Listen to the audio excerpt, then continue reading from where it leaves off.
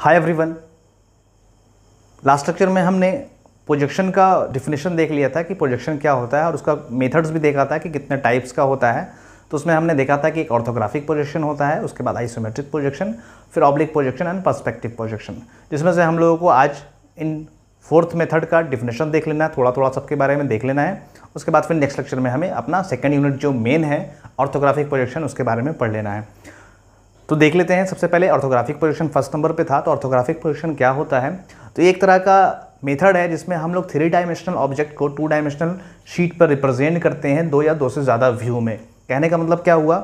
कि कोई भी ऑब्जेक्ट है, जैसा कि हमने देखा था कि कोई ऑब्जेक्ट है थ्री डायमेंशनल ऑब्जेक्ट है, इसके पास थ्री डायमेंशन है लेंथ भी है हाइट भी है विथ भी है।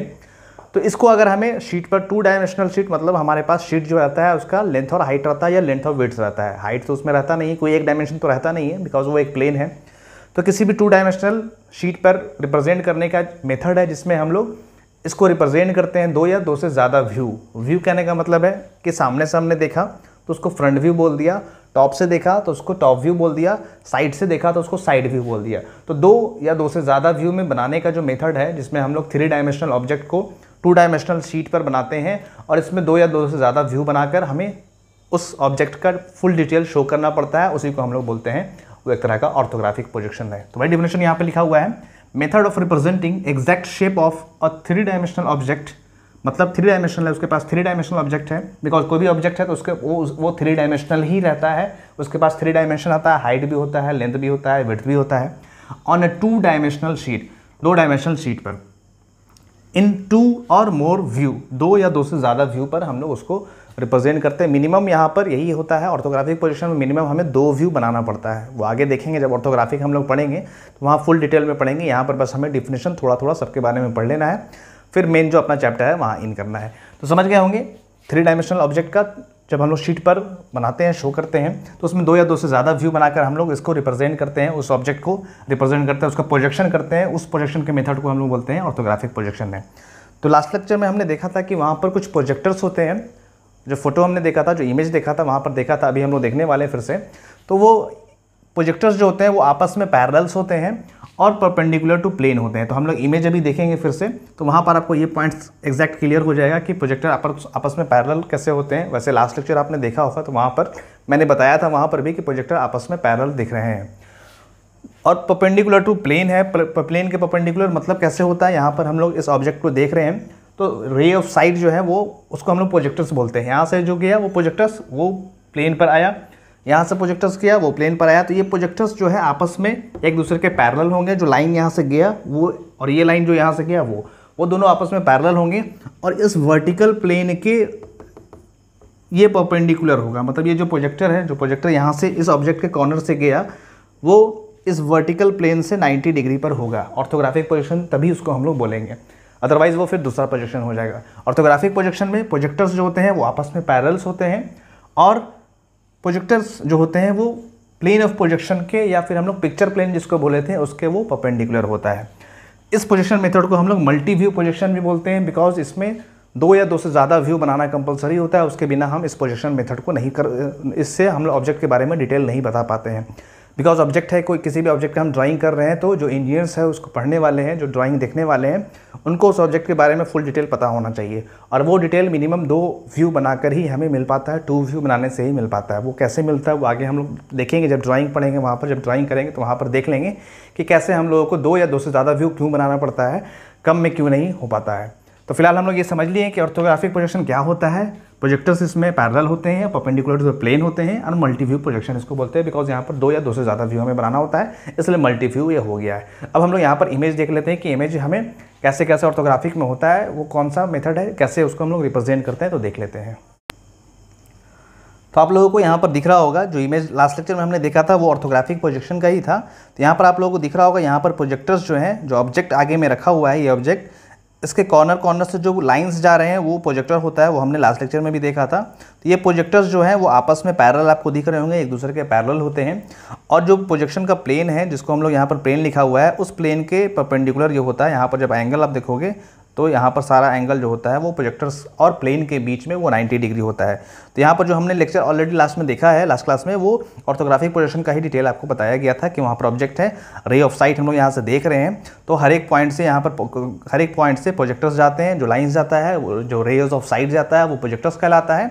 और जो प्लेन हमारा है, ये इस प्लेन पर जो हमारा बन रहा है, उस ऑब्जेक्ट का प्रोजेक्शन वो प्रोजेक्शन जिस प्लेन पे बनता है, उसको हम लोग प्रोजेक्शन प्लेन बोलते हैं या प्लेन ऑफ़ प्रोजेक्शन बोलते हैं। और ऑब्जेक्ट ऑब्जेक्ट का जो प्रोजेक्टर होता है, जो प्रोजेक्टर जा रहा था प्रोजेक्टर और प्रोजेक्शन के बीच में जो एंगल होता है या प्लेन के बीच में एंगल होता है, वो 90 डिग्री होता है। मतलब वही बोल रहा है कि ऑल्सो पपेंडिकुलर टू द मतलब प्रोजेक्टर्स जो होते हैं, वो पपेंडिकुलर टू द प्लेन होता है। ये चीज़ यहाँ पर है तो ये चीज़ हमने ऑर्थोग्राफिक प्रोजेक्शन का देख लिया है। अब नेक्स्ट हम लोग देख लेते हैं आइसोमेट्रिक प्रोजेक्शन क्या होता है।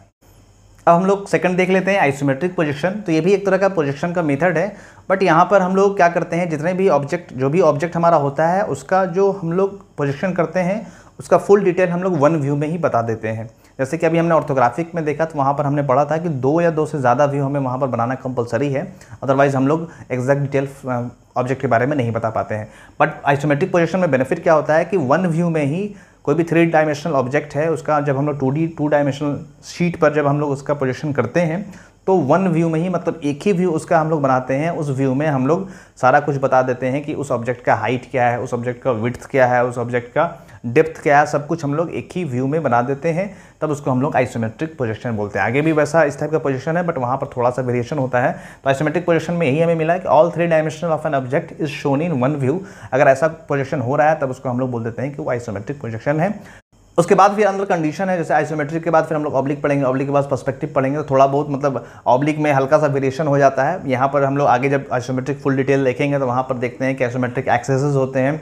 हॉर्जेंटल प्लेन से जब हम लोग एंगल देखते हैं तो थर्टी डिग्री इंक्लाइंड होता है, वो सब हम लोग फुल डिटेल आगे देखेंगे। कंडीशन है कि आइसोमेट्रिक तब कब होगा, जब वहाँ पर कुछ कंडीशन होता है तो हम लोग आगे देख लेंगे। तो फ़िलहाल डेफिनेशन हमने देखना है।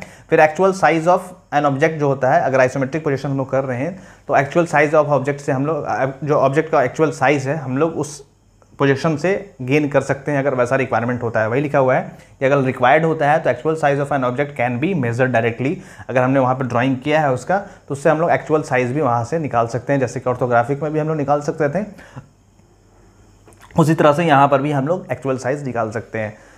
तो ये था आइसोमेट्रिक पोजीशन कैसा दिखता है? अब हम लोग को ये देखना है कि कैसे हम लोग किसी भी ऑब्जेक्ट का वन व्यू में ही सारा डायमेंशन हम लोग शो कर पा रहे हैं। तो ये हम लोग हम लोग यहाँ पर देख लेते हैं। तो आप लोग वहाँ पर देखिएगा कैसा आप लोगों को दिख रहा है वहाँ पर। तो यहाँ पर आप लोगों को दिखने वाला है कि कोई ऑब्जेक्ट है जिसको हम लोग वन व्यू में ही बना दे रहे हैं। तो यहाँ पर जो आपको दिख रहा है ये फिगर ये ऑर्थोग्राफिक का है। यहाँ पर हमने थ्री व्यू बनाया है। फ्रंट व्यू आपको दिख रहा है। उस तरह से टॉप व्यू दिख रहा है और फिर लेफ़्ट लेफ़्ट इंड व्यू होता है। ये सब क्या होता है वो हम लोग जब ऑर्थोग्राफिक पढ़ेंगे तब आपको डिटेल में समझ में आएगा। फ़िलहाल यहाँ पर आपको समझ लेना है कि ऑर्थोग्राफिक में हम लोग दो या दो से ज़्यादा व्यू बनाते हैं और आइसोमेट्रिक व्यू यहाँ पर आपको दिख रहा है। थ्री व्यू आइसोमेट्रिक यहाँ पर मतलब हम लोग इस ऑब्जेक्ट का जो ऊपर का सरफेस है हॉर्जेंटल सरफेस है, वो भी शो कर पा रहे हैं। उसके बाद इसका जो भी वर्टिकल प्लेन है वर्टिकल सरफेस है, एक तरफ़ का वो भी शो कर पा रहे हैं और इस साइड का जो भी है, वो भी हम लोग शो कर पा रहे हैं। मतलब एक ही डायमेंशन में उस ऑब्जेक्ट को ऐसा बनाया हमने कि वो थ्री डायमेंशनल ऑब्जेक्ट जैसा दिख रहा है मतलब थ्री डायमेंशन वहाँ पर उसका हमें दिख जाएगा। और भी क्या है लेंथ मतलब क्या है विथ क्या है और हाइट क्या है, सारी चीज़ें सारी चीज़ें हमें आइसोमेट्रिक में दिख जाता है। तो यहाँ पर कुछ एंगल्स में बनाया जाता है, वो आगे हम लोग जब आइसोमेट्रिक अपना थर्ड यूनिट स्टार्ट करेंगे, वहाँ पर फुल डिटेल वहाँ पर पढ़ लेंगे। फ़िलहाल हम लोग को सबके बारे में थोड़ा थोड़ा जानकारी ले लेना है किसमें क्या डिफरेंस है, वो हम लोग को यहाँ पर देख लेना है। उसी तरह से सेकंड फिगर आपको दिख रहा है, ये भी आइसोमेट्रिक प्रोजेक्शन इसका हुआ आइसोमेट्रिक व्यू या आइसोमेट्रिक प्रोजेक्शन बना है। यहाँ पर इसको इसको हम लोग पिक्टोरियल व्यू भी बोलते हैं कि एक तरह का पिक्टोरियल व्यू है ऑब्जेक्ट का, जिसमें हम लोग किसी भी ऑब्जेक्ट को थ्री डायमेंशनल ऑब्जेक्ट को टू डायमेंशनल में बनाते हैं और इस तरीके से बनाते हैं कि वन व्यू में ही उस ऑब्जेक्ट का सारा डिटेल हमें मिल जाए। तो वही बोल रहा है, यहाँ फ्रंट व्यू मान लीजिए फ्रंट से हम देख रहे हैं, फिर यहाँ पर साइड से देख रहे हैं टॉप से देख रहे हैं तो ये सब अलग अलग देखने का तरीका है। तो हमें इसमें ऐसा व्यू बनता है जिसमें हमें इस ऑब्जेक्ट का सारा डायमेंशन एक ही व्यू में मिल जाता है। वही यहाँ पर लिखा हुआ है कि वन व्यू में ही हम लोग यहाँ पर उस ऑब्जेक्ट का सारी चीज़ें डिटेल शो कर पाते हैं। इसी, यही है isometric isometric projection I think आप लोग समझ गए होंगे ऑर्थोग्राफिक में हम लोग दो या दो से ज़्यादा व्यू बनाना पड़ता है बट आइसोमेट्रिक में हम लोग एक व्यू में ही उस ऑब्जेक्ट का सारा डिटेल दे पाते हैं। जब ऑर्थोग्राफिक हम लोग पढ़ेंगे, जब स्टार्ट करेंगे, जब लेक्चर तो वहाँ पर आपको दिखेगा कि दो व्यू कम से कम बनाना ज़रूरी है। अदरवाइज़ ज़रूरत होता है तो थ्री व्यू भी हम लोग बनाते हैं। तो हम लोग वहाँ पर देखेंगे कि कैसे कैसे क्या ज़रूरत होता है वहाँ पर। अब हम लोग देखते हैं थर्ड जो हम लोग को पढ़ना है जिसको हम लोग को पढ़ना है ऑब्लिक व्यू ऑब्लिक प्रोजेक्शन पढ़ना है तो ऑब्लिक प्रोजेक्शन देख लेते हैं कि वो क्या होता है। उसके बाद फिर हम लोग पर्सपेक्टिव स्टार्ट करेंगे। अब हम लोग थर्ड देख लेते हैं अपना पोजीशन का जो मेथड है ऑब्लिक पोजीशन इसमें ये भी एक तरह का सेम चीज़ है, जैसा कि हम लोग, हम लोगों ने पोजीशन में देखा कि थ्री डायमेंशनल ऑब्जेक्ट को टू डायमेंशन में हम लोग को शो करने का जो तरीका होता है, या उसको जो पोजीशन मेथड होता है, उसी को हम लोग बोलते हैं। तो इसमें डिफरेंस क्या होता है कि यहाँ पर जो वन फेस होता है ऑब्जेक्ट का, कोई एक फेस हम लोग क्या करते हैं प्रोजेक्शन प्लेन का, जो प्लेन प्लेन ऑफ़ प्रोजेक्शन है, उसके पैरल कर देते हैं। और जब प्रोजेक्टर्स जो यहाँ पर होते हैं, वो थोड़ा सा इंक्लाइंड यहाँ पर हो जाता है। आपस में प्रोजेक्टर्स पैरल होंगे बट प्लेन ऑफ़ पोजिशन का वो इंक्लाइन हो जाता है तो इसीलिए इसको हम लोग बोलते हैं ऑब्लिक प्रोजेक्शन तो यहाँ पर आपको ध्यान रखना है कि यहाँ पर जो प्रोजेक्टर्स होते हैं, वो आपस में पैरल होते हैं बट प्लेन ऑफ़ प्रोजेक्शन का वो इंक्लाइंड हो जाता है, वो इमेज कैसा दिखेगा, हम लोग अभी देखेंगे, तभी आपको एक्जैक्ट आइडिया लग पाएगा कि यहाँ पर एग्जैक्ट होता क्या है। आइसोमेट्रिक में क्या होता था कि जो ऑब्जेक्ट था, उसको हम लोग थोड़ा सा इंक्लाइन कर देते थे। बस फिर हमने ऑर्थोग्राफिक में क्या देखा कि उसको हम लोग ऐसे रखते थे फ्रंट में क्या दिखा, वो बनाते थे टॉप में क्या दिखा, वो बनाते थे, और साइड में क्या दिखा, वो बनाते थे। बट इसमें क्या है कि किसी एक फेस को हम लोग पैरेलल रखते हैं, और बाकी फेस जो होता है, वो कुछ एंगल पर इंक्लाइंड हो जाता है। मतलब नीचे वाला फेस तो इस पर इस पर रख दिया हॉरिजॉन्टल सरफेस पे हमने बट साइड वाला जो होता है, वो हम लोग थोड़ा सा इंक्लाइन करके बनाते हैं। इधर वाला थोड़ा सा ऐसे इंक्लाइन कर दिया, इधर वाला थोड़ा सा ऐसे इंक्लाइन कर दिया। तब जो व्यू हम लोग को मिलता है, तब उसका जो प्रोजेक्शन हम लोग करते हैं, तब उसको हम लोग बोलते हैं ऑब्लिक प्रोजेक्शन है। मतलब ऑब्जेक्ट ऐसा रखा हुआ बट हम लोग जब उसका इमेज बनाते हैं, थोड़ा सा कुछ एंगल पर इंक्लाइन करके बना देते हैं, वो भी हम लोग इमेज देखेंगे कैसा दिखेगा। तो वही बोल रहा है लास्ट पॉइंट कि object rest on one of its face मतलब कोई भी ऑब्जेक्ट है, उसको हम लोग एक फेस पर, नीचे वाला फेस है, उस फेस पर हम लोग रखते हैं। बट यहाँ पर प्रोजेक्टर्स जो होते हैं, वो इसके जस्ट परपेंडिकुलर नहीं होकर वो क्या होता है थोड़ा सा एंगल पर इंक्लाइंड होता है, जैसे ऑर्थोग्राफिक में हमने देखा, वो जस्ट परपेंडिकुलर होता है बट यहाँ पर ऑब्लिक में क्या होता है, वो एंगल पर इंक्लाइंड होता है। तो ये ऑब्जेक्टिव क्वेश्चन में पूछता भी है कि यहाँ पर ऑब्लिक प्लेन में जो प्लेन ऑफ़ पोजिशन होता है, वो उसमें उसमें जो प्रोजेक्टर्स होते हैं, वो इंक्लाइंड होते हैं या फिर परपेंडिकुलर होते हैं। तो आपको ध्यान में रखना है ऑब्लिक उसी को बोलते हैं जहाँ पर कुछ इंक्लिनेशन होगा, तब उसको हम लोग ऑब्लिक पोजिशन बोलते हैं। तो इमेज कैसा दिखेगा, वो हम लोग अभी यहाँ पर देखने वाले हैं कि कैसा इमेज दिखेगा, आप लोग देखिएगा। आइसोमेट्रिक में और ऑब्लिक में क्या डिफरेंस है, वो हम लोग यहाँ पर देखेंगे। तो आइसोमेट्रिक में आपको दिख रहा होगा यहाँ पर, आप वहाँ पर देखिए आइसोमेट्रिक पोजिशन में जो बैक साइड का पोर्शन होता है, वो थोड़ा सा कुछ एंगल पर इंक्लाइन कर दिया जाता है। मतलब ऑब्जेक्ट को ऐसे ना रखकर ऑब्जेक्ट को हम लोग हल्का सा कुछ एंगल पर इंक्लाइन करके रखते हैं, तब जो हम लोग को व्यू दिखता है, वो आइसोमेट्रिक व्यू या आइसोमेट्रिक पोजिशन होता है। बट ऑब्लिक में क्या होता है, उसको हम लोग हॉरिजॉन्टली ऐसे करके रखते हैं और साइड का जो सरफेस होता है, उसको हम लोग इंक्लाइन करते हैं। तो वही चीज़ें आपको यहाँ पर दिख रही है कि ऑब्लिक प्रोजेक्शन आगे का जो प्लेन है, आगे का जो फेस है, वो जस्ट पैरल हो गया। वही बोल रहा है one face is one face is place parallel to plane and plane के पैरल होता है। वही यहाँ पर जो हमने अपनी पॉइंट देखा था यहाँ पर तो अभी हाइट हो गया होगा। वो उस पॉइंट में बोला गया है कि वन फेस जो होता है ऑब्लिक प्लेन में आगे का फेस उसको हम लोग जस्ट इसके पैरल रखते हैं। बाकी साइड वाले को थोड़ा सा इंक्लाइन कर देते हैं। तो वही यहाँ पर आपको इमेज दिख रहा होगा ऑब्लिक प्रोजेक्शन में साइड वाला जो है 45 डिग्री यहाँ पर इंक्लाइन है। और आगे का जो फेस है, वो एग्जैक्ट शेप का है। बाकी जो फेसेस है, वो एग्जैक्ट शेप में नहीं बनाया गया, उसको थोड़ा सा इंक्लाइन बनाया गया है। ये भी एक तरह का पोजिशन करने का एक मेथड है, एक अलग मेथड है, इसीलिए इसको हम लोग ऑब्लिक पोजिशन नाम दे दिए हैं। अब आगे देख लेते हैं ऑब्लिक पोजिशन में यहाँ पर दो वेरिएशन है। तो यहाँ पर आपको दिख रहा होगा कि जब कुछ एंगल पर अगर हम लोग इसको ड्रॉ करते हैं तो उसको हम लोग ऑब्लिक पोजिशन बोलते हैं मतलब सामने वाला फेस तो पैरल रहेगा प्लेन के बट जो प्रोजेक्टर्स जाएँगे या पीछे का साइड होगा, वो थोड़ा सा कुछ एंगल पर इंक्लाइंड होता है। बट यहाँ पर दो वेरिएशन यहाँ पर आपको दिखा कि कैवेलियर होता है कैबिनेट प्रोजेक्शन होता है। तो कैवेलियर मतलब अगर हम लोग सेम रेशियो में बनाए मतलब जो डायमेंशन बैक साइड का दिया है सेम अगर लेंथ का हमने बैक साइड में बनाया, सामने वाला तो साइड फेस बराबर ही रहता है इक्वल ही रहता है, वो तो हम लोग देख रहे हैं। बट बैक साइड वाला अगर हमने सेम लेंथ का बनाया, मान लीजिए कि वन मीटर का दिया हुआ है तो वन मीटर का हमने ड्रॉ किया ऑब्जेक्ट का साइज़, या फिर सेंटीमीटर में बात करें तो अगर टेन सेंटीमीटर में दिया है, टेन सेंटीमीटर में हमने ड्रॉ किया। बट अगर उसी को हम हाफ़ करके अगर हम लोग ड्रॉ करते हैं मान लीजिए कि टेन सेंटीमीटर, बट हम लोग फाइव करते हैं, वन बाई टू कर देते हैं तो उसको हम लोग कैबिनेट पोजिशन बोलते हैं। तो ये भी ऑब्लिक पोजिशन का दो टाइप हो गया, कैविलियर प्रोजेक्शन और उसके बाद फिर कैबिनेट प्रोजेक्शन दो वेरिएशन हम लोगों ने यहाँ पर देख लिया है। इस तरीके से ऑब्लिक पोजिशन हम लोग समझ गए हैं, यहाँ पर जो फेसेस होते हैं ये भी एक तरह का मेथड ही है पोजिशन का, जिसमें हम लोग थ्री डायमेंशनल ऑब्जेक्ट को टू डायमेंशनल इमेज के फॉर्म में या ड्राइंग के फॉर्म में बनाते हैं। यहाँ पर एक फेस जो होता है, वो प्लेन के पैरलर होता है। और बाकी जो इधर का सरफेसेस होता है, वो थोड़ा सा इंक्लाइंड हम लोग कर देते हैं। प्रोजेक्टर्स जो होते हैं, वो प्लेन के एंगल पर होते हैं। कुछ एंगल पर इंक्लाइंड होते हैं और नीचे का जो फेसेस होता है, उस पर ऑब्जेक्ट को रखा जाता है। तो ये हमने ऑब्लिक पोजिशन देख लिया। अब हम लोग फोर्थ लास्ट जो है, वो हम लोग पर्सपेक्टिव देख लेते हैं। तो हम लोग अब फोर्थ देखने वाले हैं पर्सपेक्टिव प्रोजेक्शन जो है। तो पर्सपेक्टिव प्रोजेक्शन क्या होता है? किसी भी ऑब्जेक्ट का रिप्रेजेंटेशन होता है किसी भी प्लेन सरफेस पर, जैसा कि वो हमें अपने आई से दिख रहा है। कहने का मतलब हो गया सिंपल लैंग्वेज में कि किसी भी ऑब्जेक्ट को मान लीजिए कि हम लोग देख रहे हैं, मान लीजिए कि हमारे सामने एक बिल्डिंग है, उस बिल्डिंग को हम लोग देख रहे हैं, किसी भी पोजीशन पे बिल्डिंग के सामने खड़े हैं उस बिल्डिंग के सामने खड़े होकर किसी भी एंगल पर एक फिक्स पोजीशन से हम लोग देख रहे हैं। कोई भी अपना पोजीशन हो सकता है, जिस भी पोजीशन पर हम लोग खड़े हैं, वो हमारा फिक्स पोजीशन हो गया, वो आई का फिक्स पोजीशन हो गया। उस आई उस फिक्स पोजीशन पे हम लोग उस बिल्डिंग को ऑब्ज़र्व कर रहे हैं बिल्डिंग को देख रहे हैं। तो देखते टाइम क्या होता है कि जो भी बिल्डिंग है हमारा, वो काफ़ी बड़ा होता है और जो भी पॉइंट्स हर एक कॉर्नर से बिल्डिंग के आ रहे हैं, वो हमारे पॉइंट वो पॉइंट्स वो रेज जो होते हैं, वो आकर हमारे आई पर क्या होते हैं कन्वर्ज होते हैं। अब उस कन्वर्जन में क्या होता है, बीच में हम लोग एक प्लेन सरफेस लगा देते हैं।